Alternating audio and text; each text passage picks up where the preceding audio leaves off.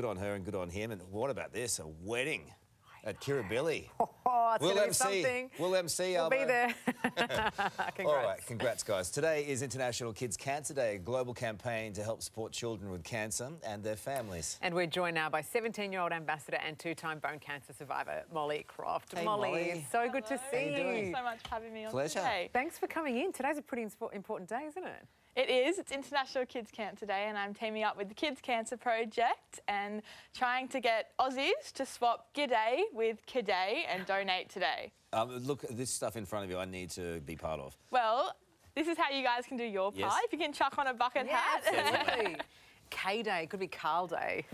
There we go. How do I Here look? There we go. All right. Perfect, great. Um, you've had- Very I mean, this, all this stuff is really great. Um, you've had such a tough time of it. How, how do you navigate through um, all of that?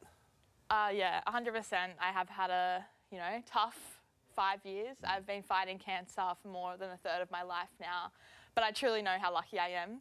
These beads in front of me, when I was first diagnosed, uh, the hospital gave me a bead with my name and a birthday bead because I was diagnosed on my 12th birthday. Oh. And each one of these beads represent something I've been through, whether it be a round of chemo, a surgery, an ambulance ride, platelet transfusion, so many things in between. But I guess to me, uh, these beads are That's a lot.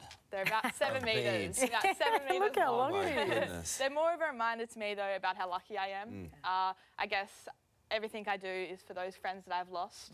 Every week in Australia, three children die of cancer. And as terrible as those statistics are, they are more than statistics to me. I've lost way too many friends, and Oh. some of my friends have had a long set like these and still aren't here today. So that's why we're raising money for um, kids' cancer to find a cure. You've got such a beautiful smile and, and such a beautiful outlook. Um, how can people help? Uh, you can head to www.kday.org and swap G'day with K'day and donate today. Honestly, it means more to me than you know. Oh, It'll mean so much to so many out there as well, won't it? Thank you so much. You. Really appreciate Thanks you being so on much today. me. Thanks for coming in, Molly. Can I keep the hat or? Yeah, can we keep it? Yeah, sure, it's all yours. Suits us, doesn't it? All right. Oh dear. Here we go. You can hear the bagpipes, right? After the break, Karl is